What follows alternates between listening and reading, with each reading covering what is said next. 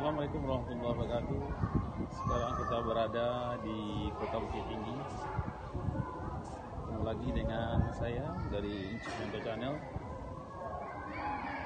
Nah, inilah keadaan Kota Bukit Tinggi saat ini. Jadi buat para wisatawan mengunjungi Jam Gadang.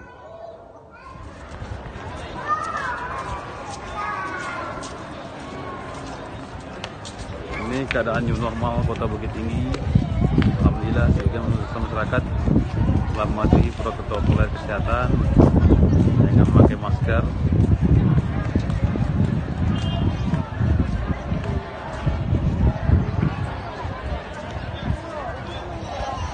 Ya, belum.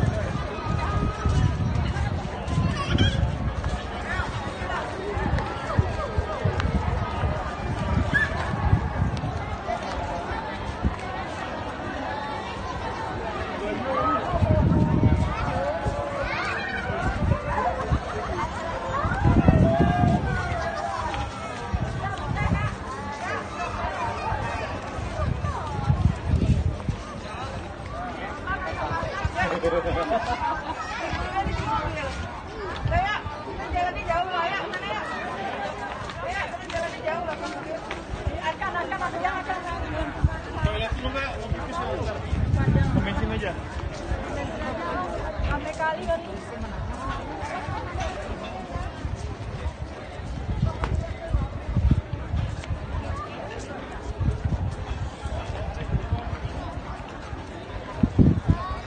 Ini kondisi Kota Bukit Tinggi sedikit ramai dikunjungi oleh para wisatawan dalam negeri. Karena juga keadaan atau didukung oleh suasana liburan akhir tahun.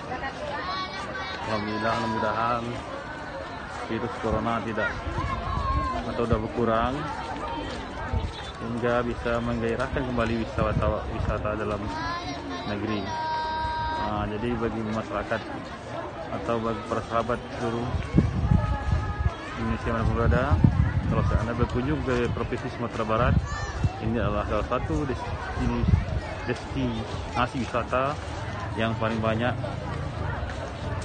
diburu. Seandainya seandainya kalau tidak sampai ke Bukit Tinggi, kalau tidak sampai ke Pasar Aceh. Nah, ini termasuk pasar wisata dan jam gadang berarti belum sampai Bukit Tinggi. Nah, ini keadaannya sekarang ini ramai sekali. Mudah-mudahan terus corona segera berlalu.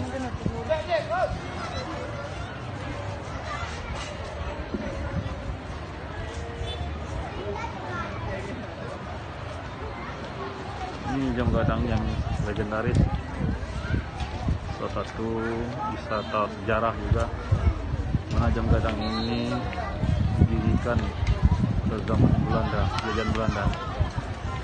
Alhamdulillah sampai sekarang masih terawat.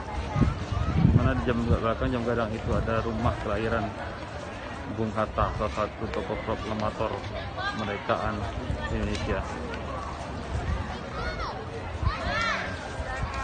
Demikianlah liputan kami pada kesempatan ini mudah-mudahan kita berjumpa di lain waktu. Saya berharap saudara semuanya bisa berkunjung ke sini.